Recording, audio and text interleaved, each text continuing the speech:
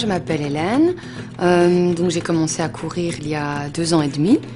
Euh, avant, j'étais pas du tout sportive. Et euh, j'ai commencé donc de façon assez euh, soudaine parce que c'était au terme d'un régime où j'avais perdu pas mal de poids. Et puis j'ai arrêté de fumer également. Le fait d'arrêter bah, des, des comportements un peu addictifs, ça a fait que assez brutalement, je me suis sentie très anxieuse, quoi. J'avais une boule un peu d'anxiété et du coup, euh, j'étais super speed, euh, donc je courais tout le temps, enfin au sens figuré, et donc, et, un- donc un jour, bah, j'ai couru, euh, j'ai couru vraiment comme ça, un peu n'importe comment au bord de la Meuse. J'étais essoufflée, mais là, je me suis rendu compte que j'avais besoin de courir.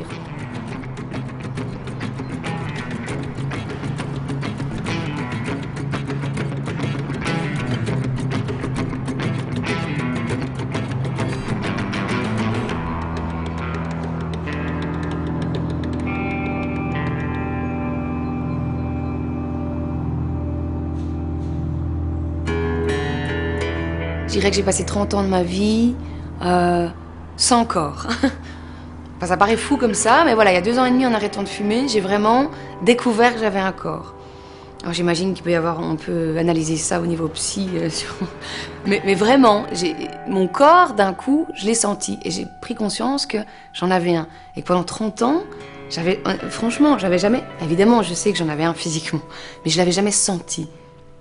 Alors ça paraît fou, hein, mais je vous promets, je l'avais jamais senti. Donc ça a été, du coup, ça a été brutal. Et pendant plusieurs mois, ça a été assez compulsif. J'allais courir à n'importe quelle heure, n'importe comment. Je gérais pas du tout ça.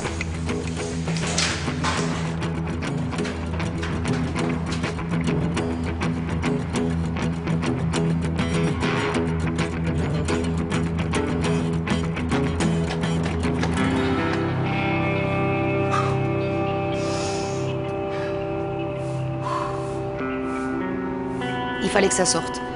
Mais j'avais déjà découvert que j'avais un corps, c'était déjà bien. À tous les niveaux, je me suis donc réconciliée avec lui. Du coup, bah, je mangeais quand il avait faim. Il. Enfin, je dis il exprès parce que c'était comme ça que je sentais les choses à l'époque. Donc pareil, pour les invitations, pour tout ça, c'était difficile parce que je devais, j'avais retrouvé cette connexion à mon corps, donc au prix, quelque part à ce moment-là, d'une déconnexion avec la société. Donc mon corps, je ne pouvais pas faire en sorte qu'il ait faim à 19h quand on était invité. Je ne pouvais pas faire en sorte d'avoir de réussir à courir à 17h pour pouvoir être libre à 19h quand on était invité. Mais tant pis, et mon compagnon a respecté ça aussi. Je suis passée par cette période-là où j'arrivais chez sa maman, j'avais déjà mangé. On arrivait pour manger et je disais euh, non merci, je viens de manger. ça paraît incroyable, mais j'ai eu besoin de passer par là. Vraiment, surtout que j'avais toute ma vie quand même eu des problèmes de, de, de, de compulsion alimentaire, toujours avec des variations de poids assez, assez importantes. Donc, donc une difficulté quelque part à, à gérer l'alimentation, à gérer euh, l'image de soi, des tas de choses. Donc il y a eu six mois difficiles, euh, enfin difficiles oui, où il a fallu réapprendre ça. Il a fallu que je m'habitue à mon image, parce que j'avais perdu quand même 30 kilos, enfin 28 kilos. Donc euh, ça n'a pas été facile parce que c'est pas, on se reconnaît pas. Donc je me reconnaissais pas du tout. Voilà, je me retrouvais pas, donc je savais plus du tout qui j'étais. Et voilà, donc je suis passée par ces six mois-là, je dirais, vraiment une déconnexion avec l'extérieur. Peut-être que là, je me suis repliée sur la course à pied. Voilà. Donc au début, je ne voyais pas trop l'extérieur. Je devais, je devais vraiment m'efforcer de me concentrer sur ma respiration. euh, parce que j'avais du mal entre mes pas, ma respiration, etc. euh, à trouver mon rythme, quoi, à être bien. Et puis petit à petit, on regarde un peu plus loin devant soi.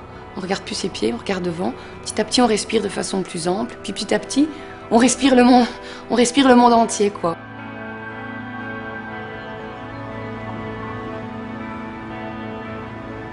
Et il y a des moments, par exemple, si je cours assez longtemps, j'ai l'impression d'être comme Mario Bros, d'être sur un petit nuage. Mais souvent, je, compare voilà, la course à pied à la méditation.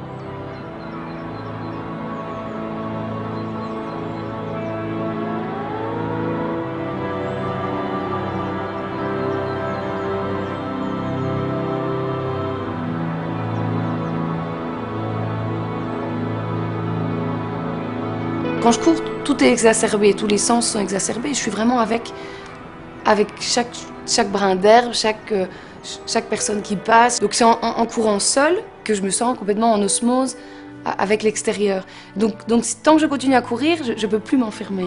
Je ne peux plus me couper de mon corps, me couper de mes émotions, me couper de la vie, quoi.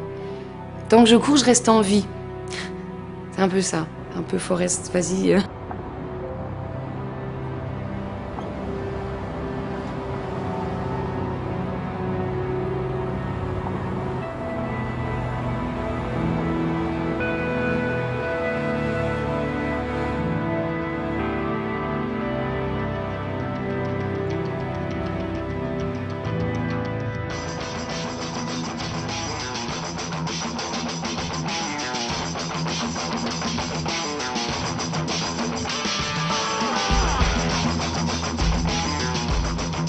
J'ai attendu d'être capable de courir euh, une demi-heure sans fatigue, sans, difficulté. Donc ça m'a quand même pris six mois pour pouvoir faire ça tranquillement, avant de m'inscrire à mon premier 10 km. Voilà.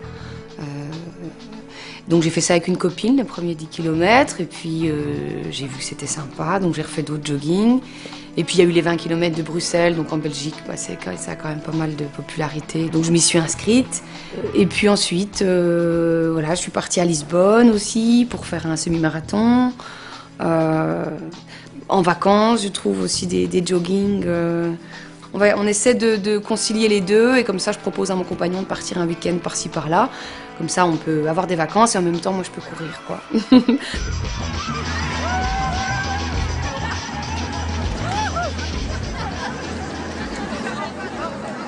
Parcours très varié, traverser des champs, des routes, chemins, plats, monter et descendre. Au début, j'avais les mains gelées et j'étais habillée trop léger. On les voyait au loin, à la campagne. 401e sur 483. Je suis super contente. Parfait, ni trop chaud ni trop froid. J'ai un carnet où je note simplement le nombre d'heures d'entraînement par semaine que j'additionne, donc sur le, depuis le début de l'année.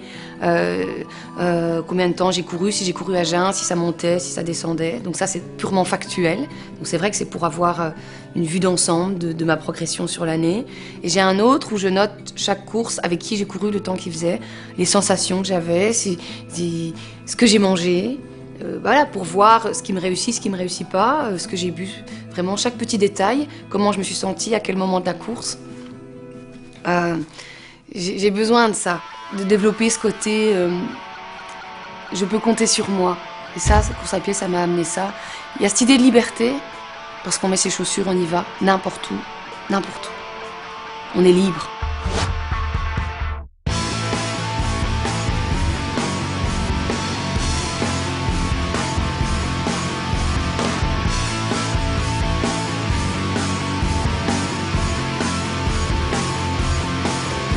Que j'aimerais, c'est pas donner l'envie aux gens de s'inscrire demain à la, à aux abdos fessiers pour perdre 3 kilos euh, et se mettre à, manger de la poudre pour perdre 3 kilos. C'est l'inverse de ça. C'est qu'est-ce que vous pouvez faire qui vous fait du bien, qui vous rend heureux, qui, est bon. Que, c'est juste ça. Euh, donc c'est l'inverse de la performance. et il se trouve que c'est en pensant comme ça que finalement je deviens performante, oui. Voilà, mais commencer par ça. Comment me faire du bien, comment me donner quelque chose qui me fait du bien, le bien-être. Et ça peut être, euh, voilà, la musique. Voilà, mon compagnon, c'est la musique. Alors on pourrait dire, oui, mais c'est pas le corps. Mais, mais si, il, joue la musique avec son corps aussi. Et il ressent la même chose que moi euh, via la musique.